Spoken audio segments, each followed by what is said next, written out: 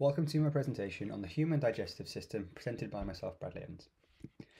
So the content of today's presentation will consist of structures and functions of the digestive system, mechanical and chemical digestion, enzymes and their optimal conditions, constituent food groups and a balanced diet. What is digestion? Well, digestion is a process of breaking down and absorbing nutrients from ingested food molecules and providing cells with the required energy to synthesize, grow and repair. Digestion can be split into five sections. First of all, we have ingestion, followed by propulsion, digestion, absorption of those nutrients, and the elimination of waste products.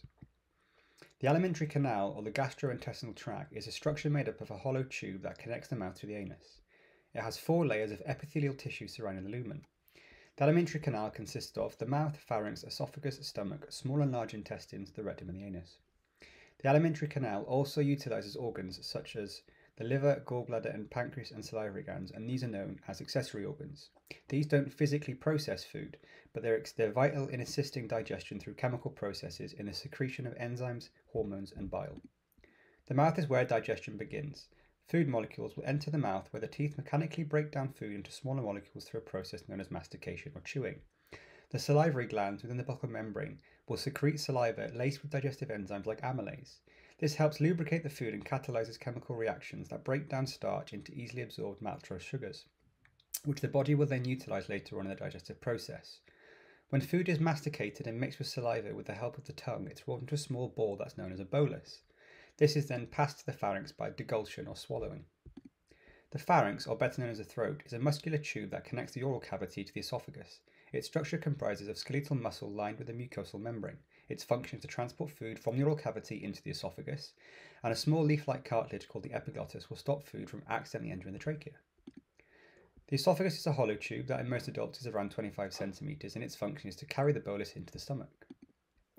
The stomach's function is to temporarily store food and further digest the bolus. The stomach is able to stretch to accommodate large amounts of food and is protected by a mucosal lining that acts as a protective barrier to avoid damaging its cells through its acidic environment.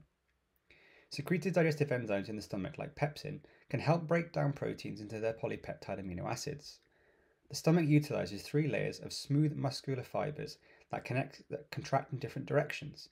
This churns and mixes the bolus with the gastric juices through these peristaltic movements.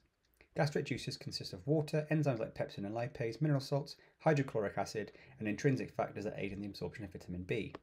Once mechanical and chemical processes have further broken down the bolus, it becomes what's known as chyme, the pylorus will then force the chyme into the duodenum and past the pyloric sphincter. The small intestine's function is to complete the chemical and mechanical breakdown of chyme and absorb the nutrients extracted. This is achieved through the mechanical parasympathetic stimulation and the secretion of bile, pancreatic and intestinal juices. The small intestine structure is lined with many epithelial villi that create a large surface area that aid in the absorption of nutrients. The enterocytes of these villi is what allows for the diffusion of the nutrients into the bloodstream and the distribution to cells in energy.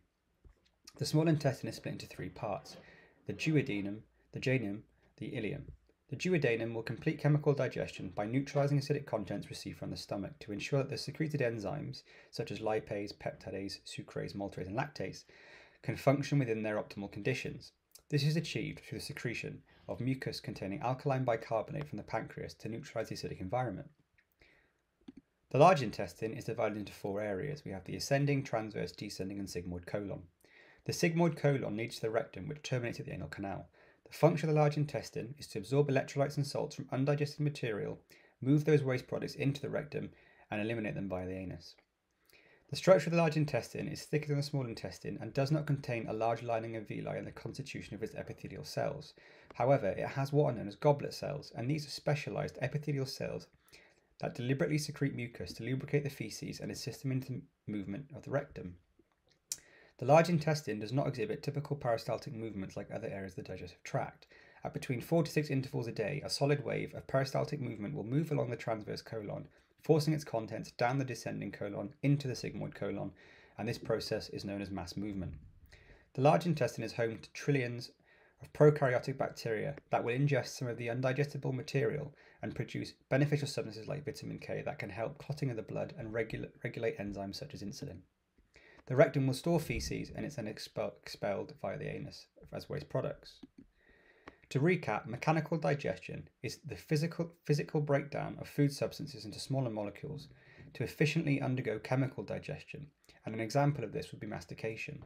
Chemical digestion is a change to the molecular structure of the ingested material through the secretion of digestive enzymes into a form that is more absorbable by the body. An example of this would be pepsin within the stomach breaking down large proteins into smaller polypeptide amino acids, making absorption easier. What are enzymes? An enzyme is a substance that catalyzes chemical reactions in living organisms without itself being altered. We're going to look at three different enzymes and their optimal conditions to op- optimize their ability to catalyze reactions. Amylase is found in the saliva and is a carbohydrase enzyme that breaks down starch into simple sugars like maltose. Amylase can be found throughout the alimentary canal and has an optimum temperature of 37 degrees and an optimum pH level of 7, making it neutral.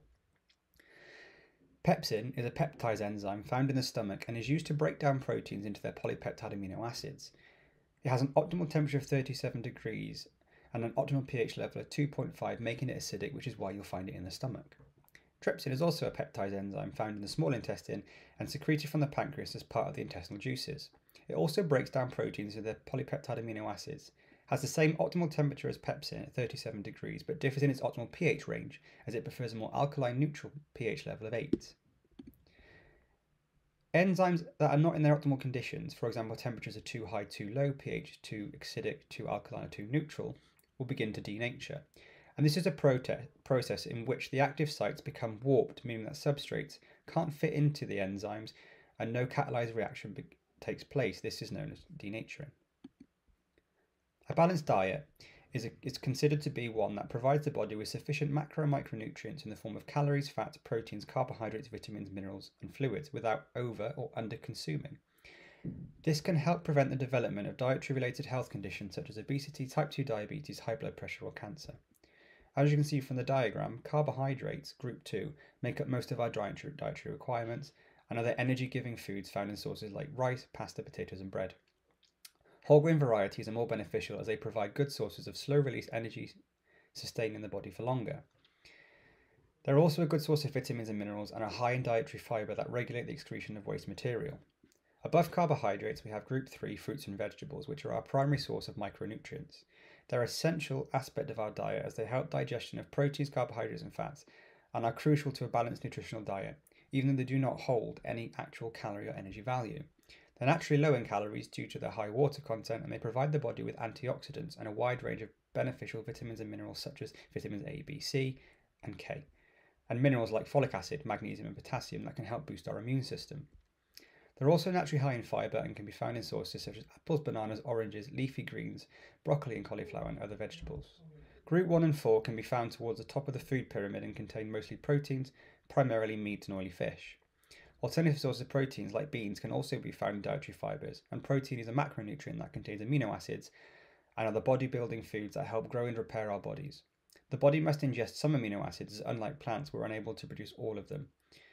Too little protein can lead to a reduction in muscle mass and a reduction in metabolism.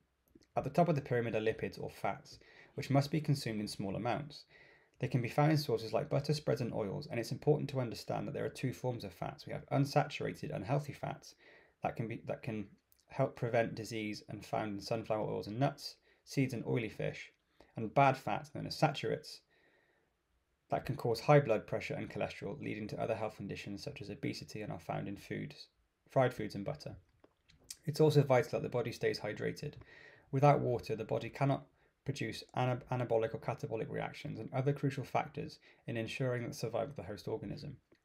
When not correctly hydrated, cells will shrivel and malfunction, and it can also upset the balance of minerals and salts, which can, uh, a, a worst case scenario, lead to organ failure and death. Thank you for watching my presentation.